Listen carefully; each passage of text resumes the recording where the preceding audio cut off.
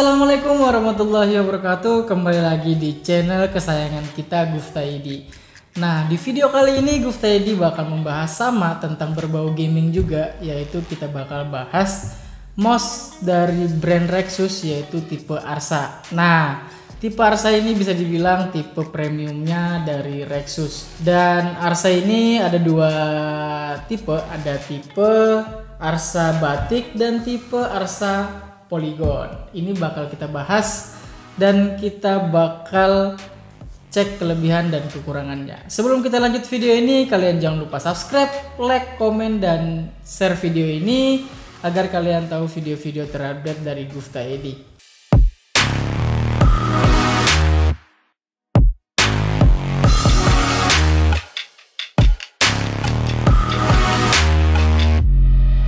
Oke, seperti biasa kita bahas yang pertama-tama bakal bahas tentang packagingnya. Nah, packagingnya ini kita bahas salah satunya aja ya. Mungkin kita bahas dari batiknya aja. Ini kita singkirkan, kita buka dulu.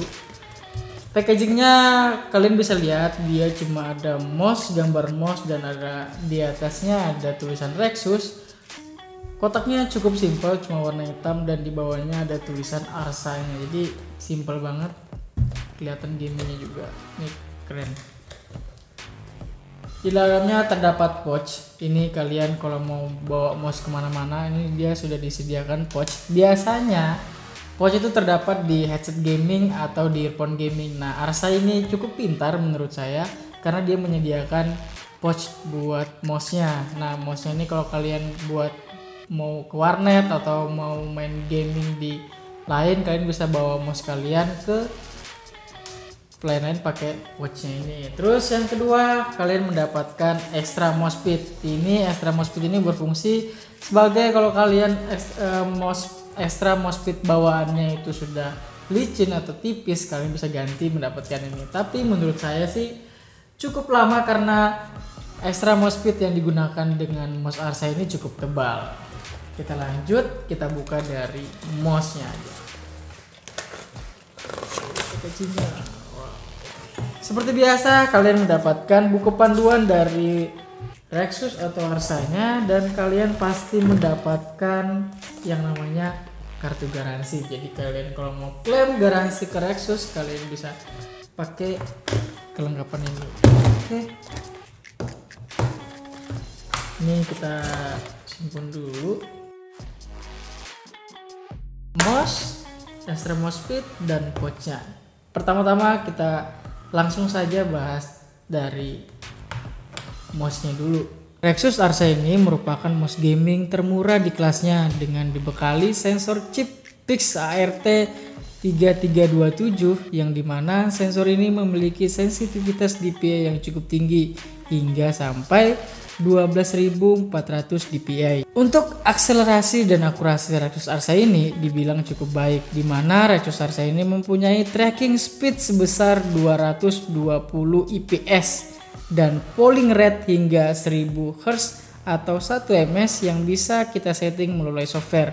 Nah, jadi kalau kalian mau setting DPI-nya itu kalian bisa menggunakan software tapi softwarenya tidak di, tidak ditaruh atau tidak di uh, tidak kalian dapat di packagingnya atau di kotak Arsa ini. Kalian bisa download di www.rexus.id dan mungkin linknya kita taruh di bawah ini.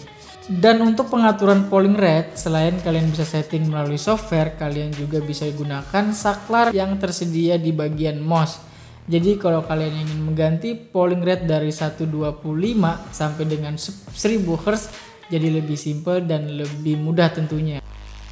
Nah, mouse ini dilengkapi dengan switch Omron hingga sampai 20 juta kali klik. Wow, banyak banget bro. Jadi kalian kalau mau ngetes mouse ini sampai 20 juta klik, klik aja sampai 20 juta klik tuh. Baru mouse ini bisa nggak dipakai lagi. Cuman ya lama banget kalau kalian main game sampai 20 juta klik tuh ya lama banget. Nah terus mouse ini karena memakai switch Omron, feelnya itu dapat banget. Jadi kalau kalian switch Omron tuh kalau kalian klik itu feelnya tuh pasti sama kalau kalian klik sampai berapa kali tuh feelnya pasti sama. Biasanya kalau mouse itu mouse yang tidak memakai switch Omron kalau kalian klik itu semakin banyak kalian klik feelnya tuh semakin hilang jadi yang pertama-tama enak nanti beberapa bulan atau beberapa tahun kemudian bakal feelnya nggak dapat tapi kalau pakai Switch Omron itu sensasi feelnya tuh dapat pasti dapat banget kalau kalian pakai beberapa kali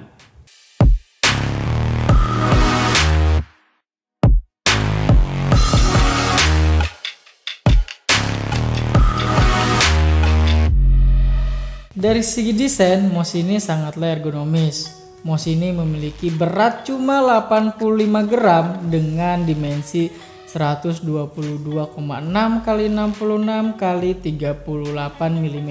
Jadi ini mouse ringan banget, Bro. Jadi biasa mouse-mouse Rexus sebelumnya dari RC ini mouse-nya berat-berat banget. Ada yang berat, tapi di zaman di tahun 2020 mouse-mouse sekarang memakai uh, beratnya itu ringan banget tapi feelnya dapat. Jadi ini yang beratnya cuma 85 gram. Jadi mouse-mouse zaman sekarang memang mouse ringan-ringan banget. Ini cuma 85 gram bro. Kabelnya ini sudah memakai kabel tipe paracord dan tipe dan panjang dari kabel ini sekitar satu meter setengah sampai 2 meter. Tuh kalian bisa lihat satu meter sampai 2 meter. Jadi kalau kalian mempunyai atau make PC yang di atas atau di bawah yang cukup jauh dari meja kalian ini enak banget. Karena sudah bisa dibilang panjang. Mending panjang daripada kependekan bro. Susah nariknya nanti. Nah terus uh, keunggulan dari kabel paracord ini itu cukup ringan. Jadi mouse-nya ringan kabelnya juga ringan. Jadi kalau kalian ke kiri atau ke kanan itu lebih enak dan lebih enteng. Dan pastinya kalau kalian memakai kabel paracord itu tidak gampang sobek bro dibandingin kabel-kabel yang cuman dilapisi dengan plastik aja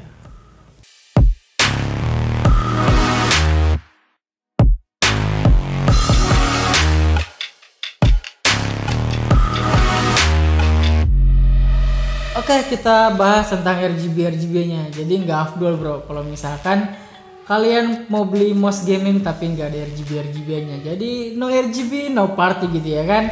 Jadi ini RGB-nya kalian bisa atur di klik kanan terus tuh kalian coba di forward atas nih. Jadi dia ada 10 jenis warna yang kalian bisa ganti RGB-nya. Dan kalian kalau mau setting DPI-nya itu ada di bagian atas nih.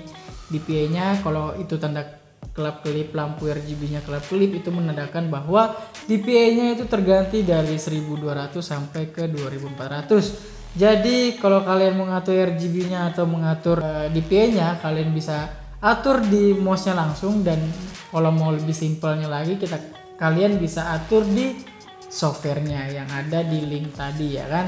Dengan mouse di harga 300 ribuan sudah mendapatkan kabel yang sudah parakot dan ringan mouse-nya juga cukup ringan DPI-nya bisa kalian atur dan RGB-nya bisa kalian atur dan lebih pastinya dan lebih enaknya lagi dengan mouse secanggih ini dan mouse segahar ini kalian mendapatkan harga cuman 300 ribuan saja